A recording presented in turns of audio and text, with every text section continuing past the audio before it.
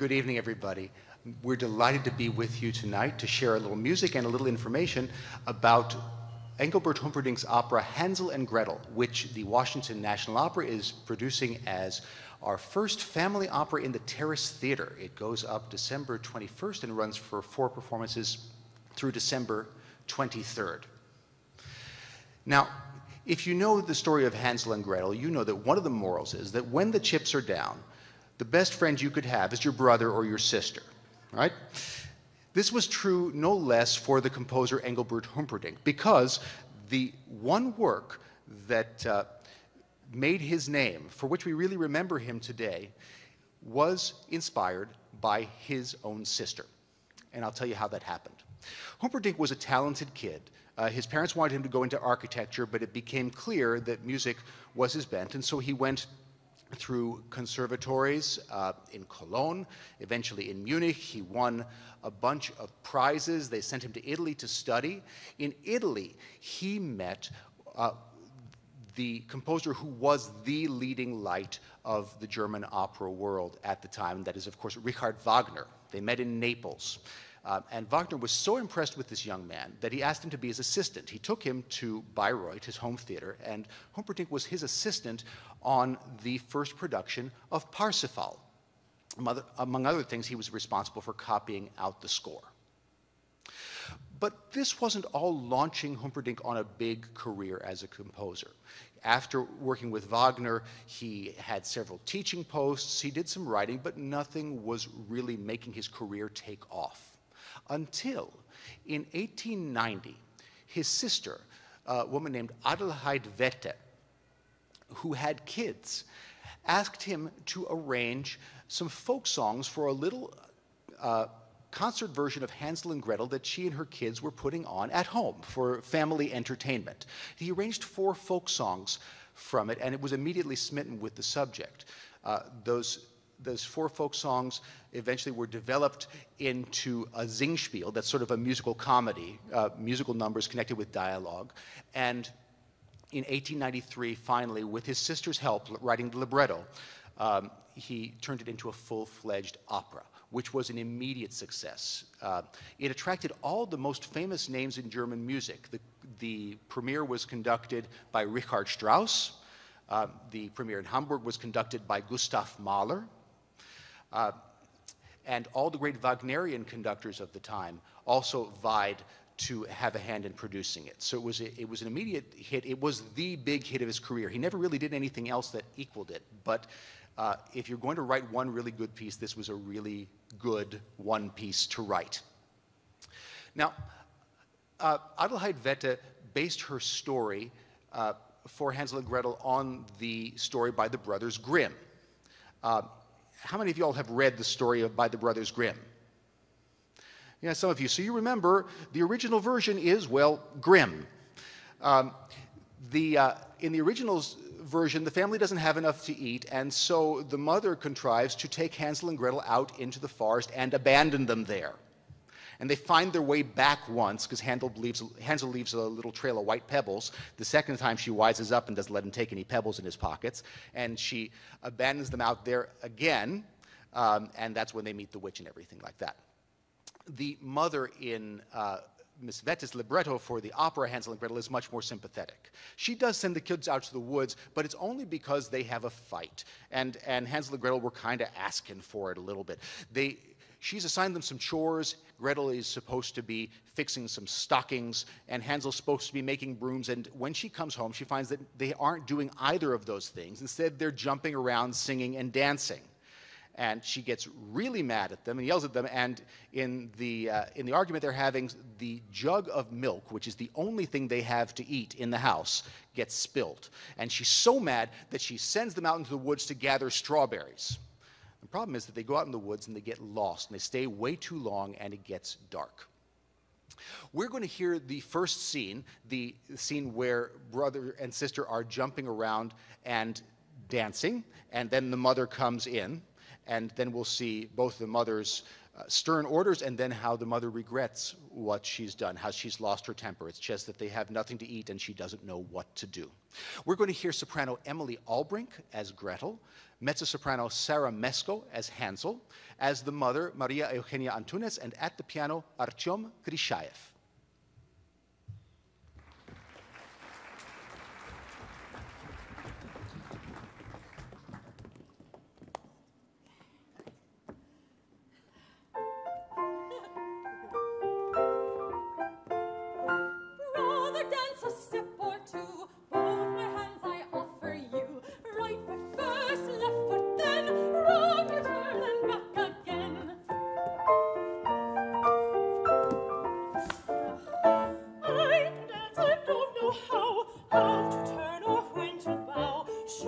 water.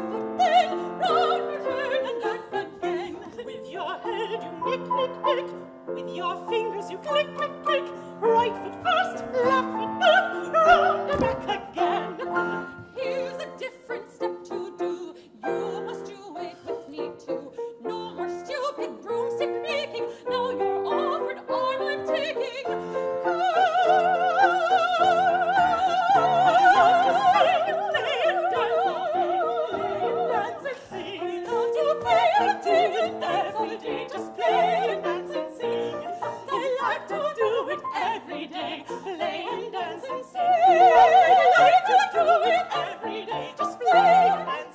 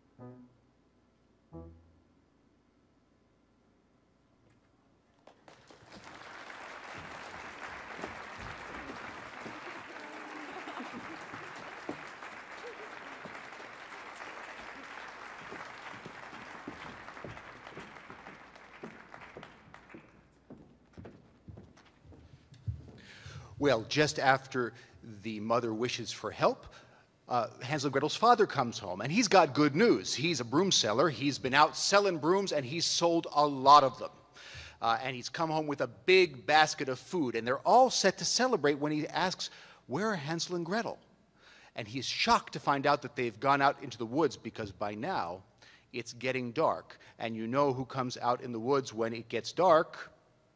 The witch and he sings uh, an aria about a witch and what she might do with a broomstick. We'll hear as Peter, the father, baritone Norman Garrett, and again as the mother, Maria Eugenia Antunes.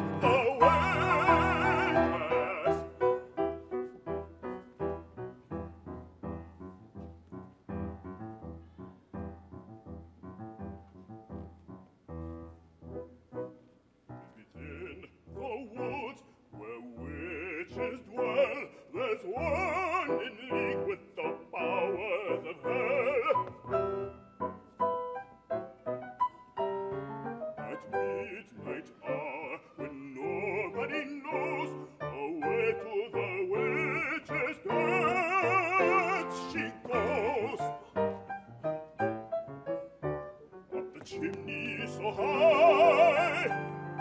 On the broomstick they fly over here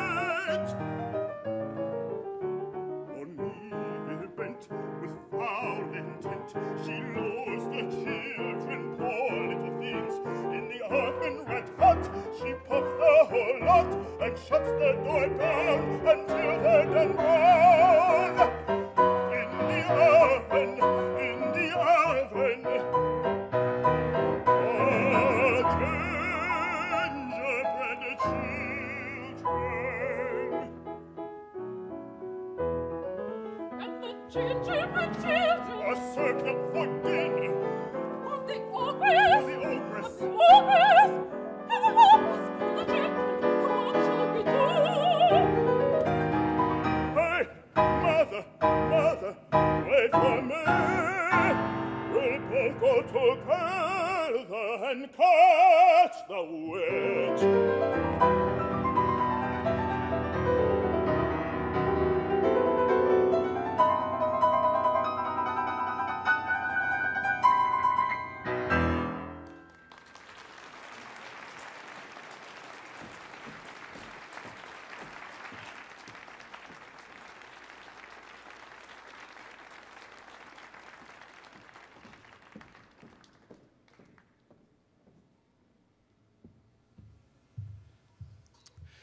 Now, in all that time working with Wagner and all that time studying in German conservatories, Humperdinck picked up a lot of technique.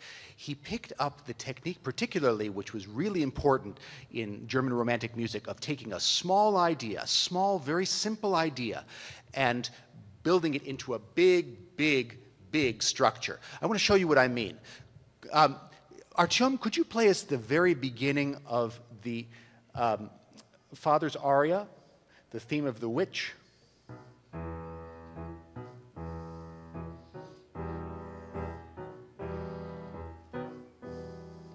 Perfect.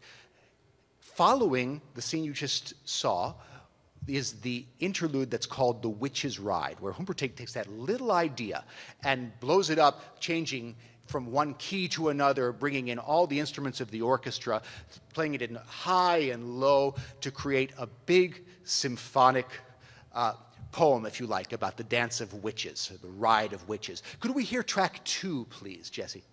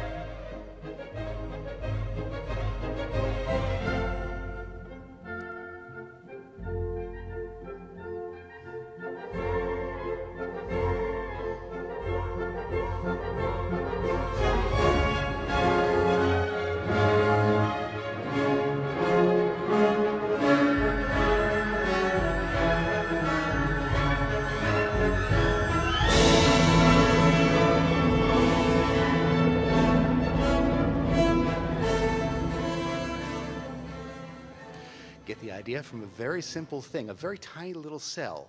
Uh, and all the, the big themes in Hansel and Gretel are very, very simple little ideas. You can weave them together, just as Richard Wagner did in all his operas, or at least all his later operas, to create very complicated and interesting things with all sorts of changes of drama. So, what happens after Hansel and Gretel get lost out in the woods? They get very frightened. As it gets dark, and they seem to see specters and spirits everywhere. Uh, but at the moment of their greatest terror, who should turn up but the Sandman? And the Sandman always turns up, of course, when it's time for kids to go to sleep.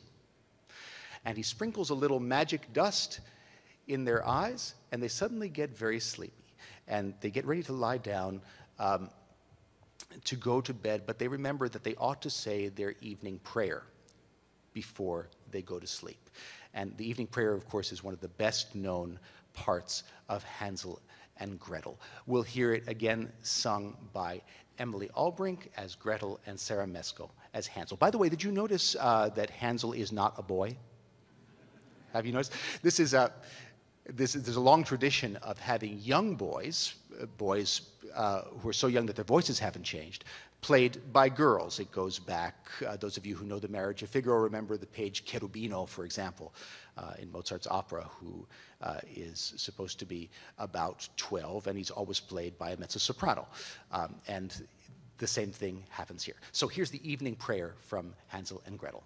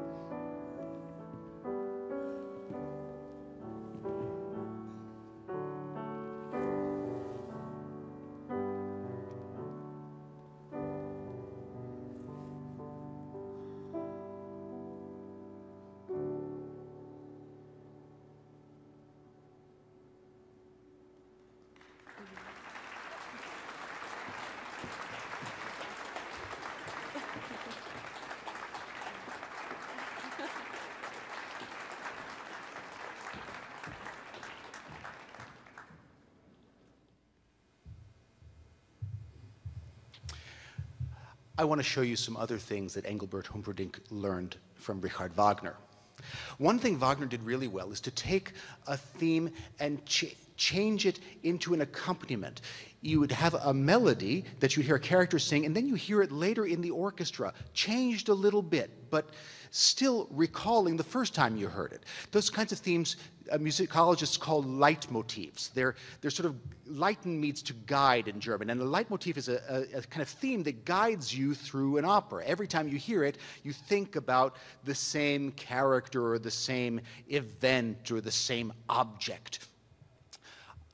Artyom, could you play us the first two bars of the evening prayer?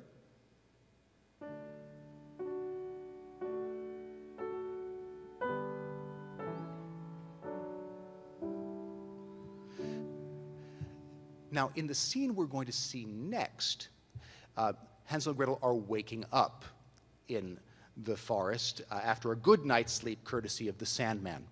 And um, they remember that while they were asleep, exactly the thing that they talked about in their prayer happened. 14 angels came down to guard them as they were sleeping. Um, and when Gretel talks about that, um, where she begins to talk about her dream, we get this accompaniment.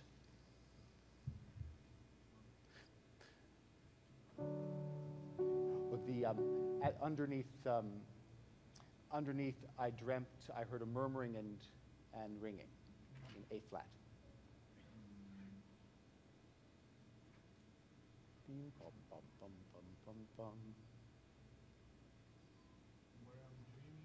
Uh huh.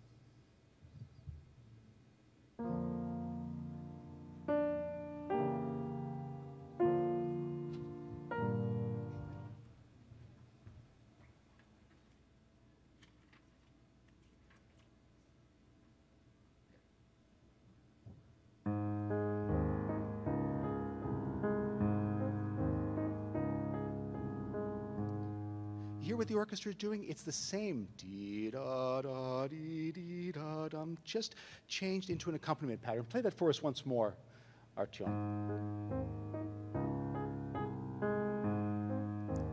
It's subtle, but it's there. So when you hear that, you think back immediately. Uh, before she tells you what her dream was, you know kind of what it's going to be about because that's the music of the prayer and that's the music of the angels there are parts of Hansel and Gretel that recall Wagner a little more directly. They're not actual quotes, but it's obvious that Humperdinck has absorbed a lot of Richard Wagner's language. I want to play you another excerpt from the scene we're about to hear. This is um, Hansel and Gretel waking up. Uh, Gretel uh, is singing like a lark, and Hansel is crowing like a rooster. Could we have track three, please, Jesse?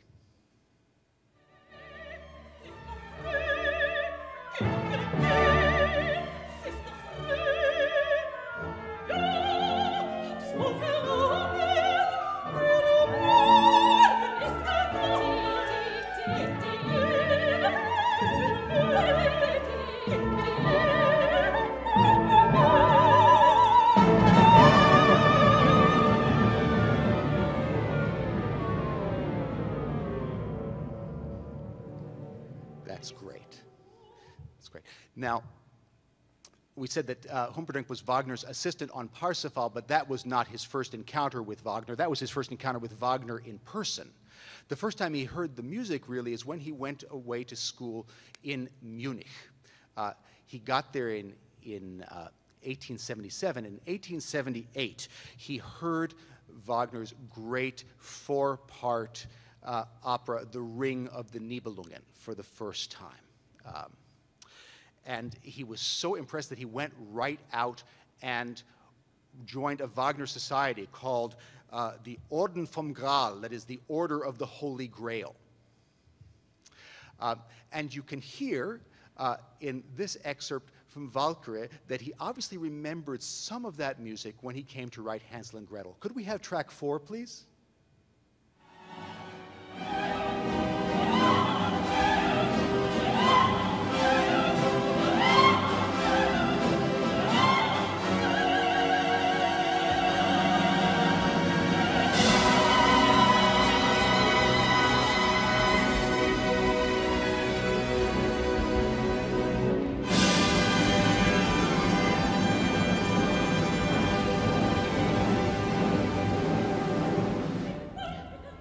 It's very similar to the climax of Hansel's music, isn't it? You've got the big flourish with the brass, you've got the, the, the timpani thundering away, you've got the scales coming down in the orchestra. So I'm not saying it's a quote, but I'm not saying he copied.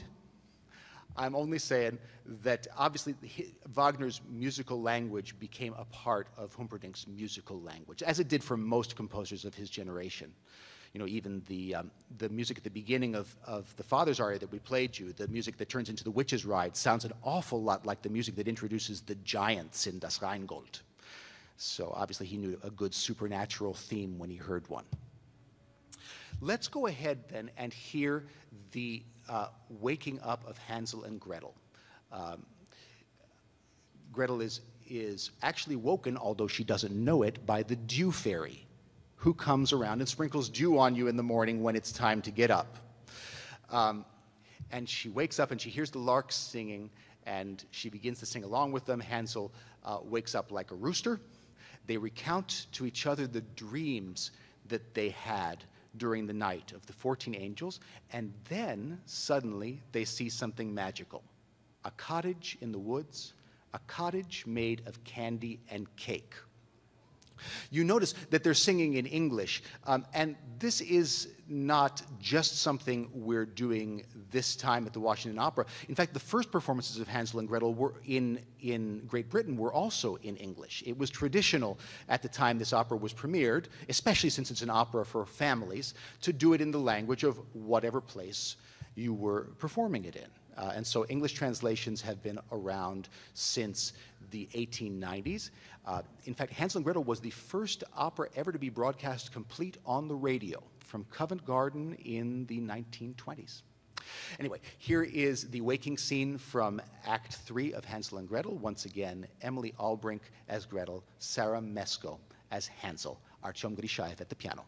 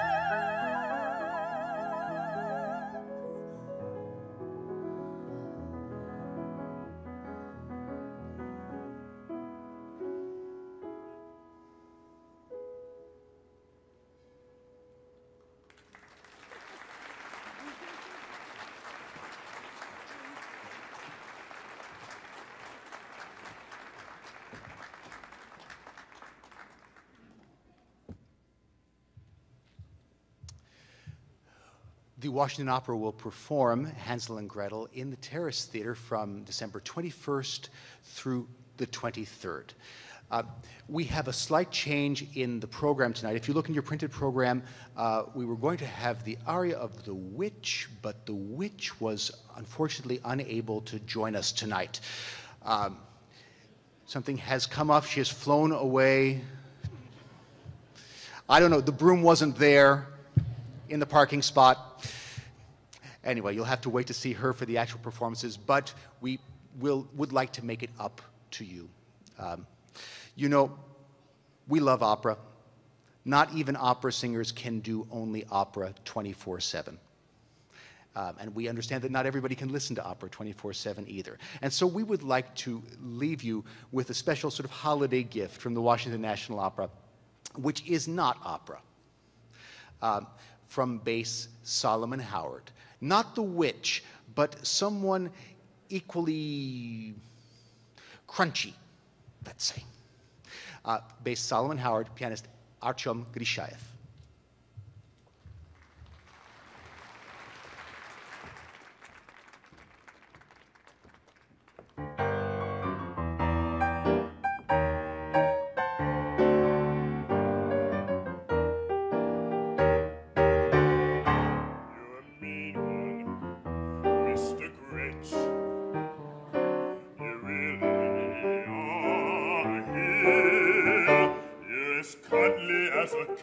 voice as charming as an eel, Mr. Grinch.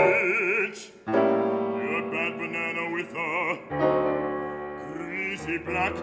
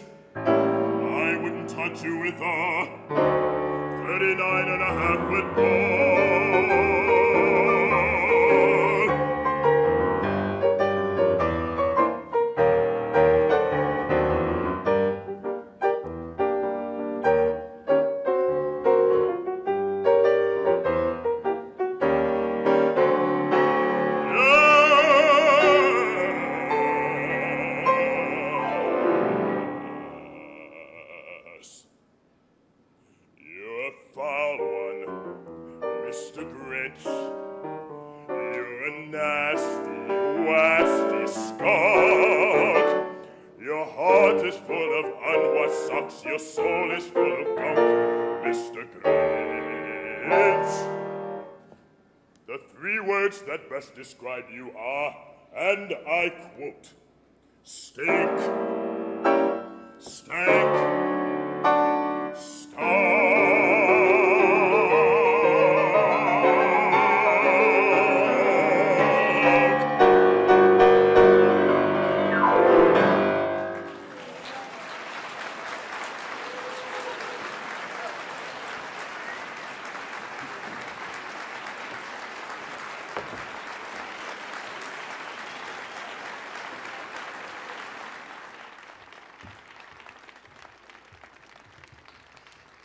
Thank you very much for coming, everybody. Thank you to our performers, and we look forward to seeing you at the opera.